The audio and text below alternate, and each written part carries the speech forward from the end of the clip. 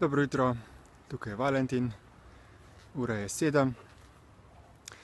In danes bom govoril o drugem delu, drugem polu rešitev, ki jih pripravljamo v globalni skupini Destiny.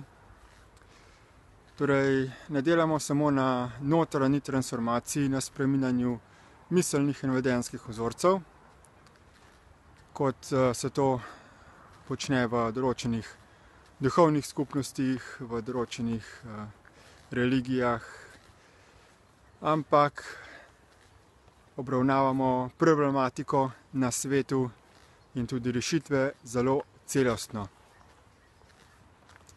Zavedamo se, da ni dovolj samo to, da spremenimo odnos do samega sebe, da si uredimo osebno življenje, da poskrbimo za svoje lastno blagostanje, za blagostanje svoje ožje družine, da se umaknemo ven iz tega sistema, in da potem živimo mirno, samotarsko življenje do smrti. Kajti smo del celotnega globalnega sistema, vsi smo del te enosti, del ene univerzalne resničnosti. In tisto, kar dopuščamo, je tudi tisto, kar se bo nadaljevalo, in smo tudi s svojim dopuščanjem soodgovorni za vse, kar obstaja na tem svetu, in tudi za posledice obstoja tega na druga živa bitja. Torej, če stvari enostavno samo ignoriramo in dopuščamo trpljenje drugih ljudi in drugih živih bitij, smo mi s tem prav tako osebno odgovorni za to. In če pogledamo zunanji sistem, družbeni sistem, denarni sistem, ekonomski sistem, potem vidimo, da je zunanji sistem tak, da zelo pospešuje tekmovalnost, razdvajanje, sebičnost in da omogoča izjemno bogatenje drobni eliti ljudi, medtem ko milijarde ljudi trpijo pomanjkanje, lakote, vojne. In zaradi zavedanja te osebne odgovornosti tudi pripravljamo spremembo zunanjega sistema. Torej Destiny je edina skupina na svetu, ki stvari na, na tem svetu obravnava zelo celostno. Torej tako notranje kot zunanje. In zavedamo se, da zunanjega sistema ne moremo spremeniti tako, kot poskušajo nekateri, z obupavanjem, z smiljenjem samemu sebi, z gladovnimi stavkami, s pouličnimi upori, vstajami, vandalizmom. Ali pa enostavno tako, da zvračajo odgovornost na sam obstoj denarja in mislijo, da če se bo enostavno denarni sistem odpravil, da bodo odpravljeni vsi problemi na tem svetu.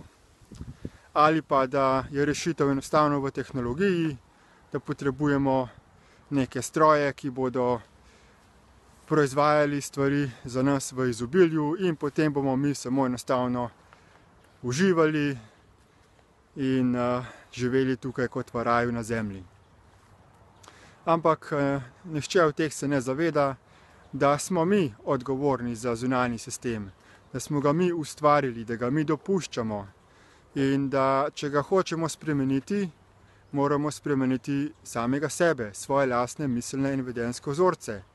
Kajti sistem je tak zato, ker smo mi postali brezbrižni, ker nas ne briga, kako sistem deluje, ker nas ne briga za življenje drugih ljudi, ampak se brigamo samo za sebe. In zaradi lastnega egoizma se je ustvaril tudi tak sistem, ki pač naš egoizem potrjuje. Torej prva, prvi korak je, da se, da spremenimo naše miselne in vedenjske vzorce, nato je pa tudi, da pripravimo zunanje rešitve. In naša skupina Destiny je pripravila ta to zunanjo rešitev, ki je v bistvu politični predlog, politični program in se imenuje Equal money system oziroma enakovredni denarni sistem.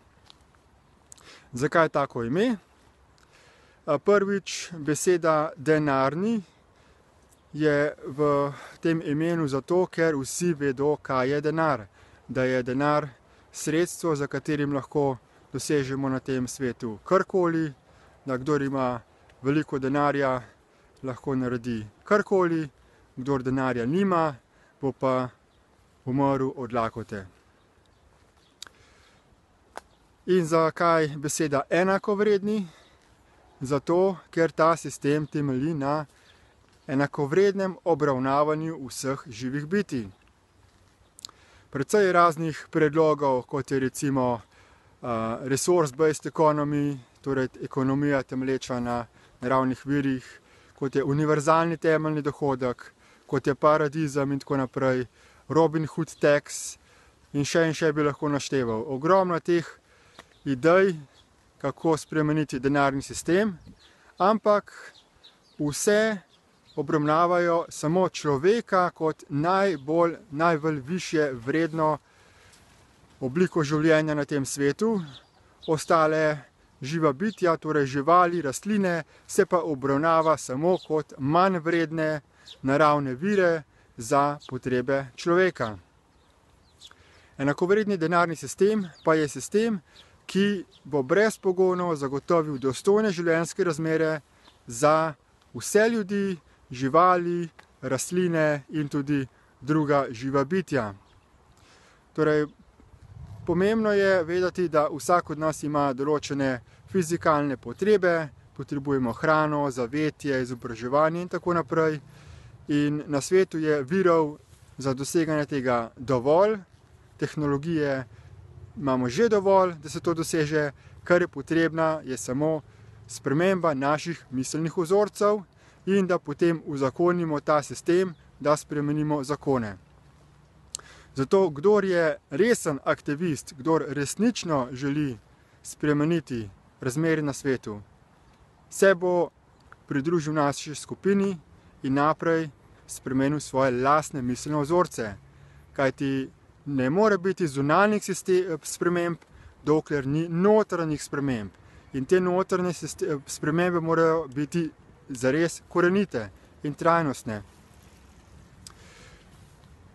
Vabim vas, da si uh, ogledate spletne strani, forume, videoposnetke, ki razlagajo več podrobnosti o tem enakovrednem denarnem sistemu.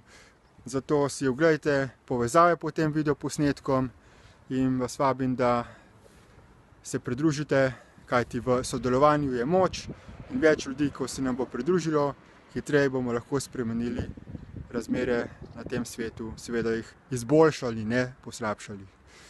Nasvidenje.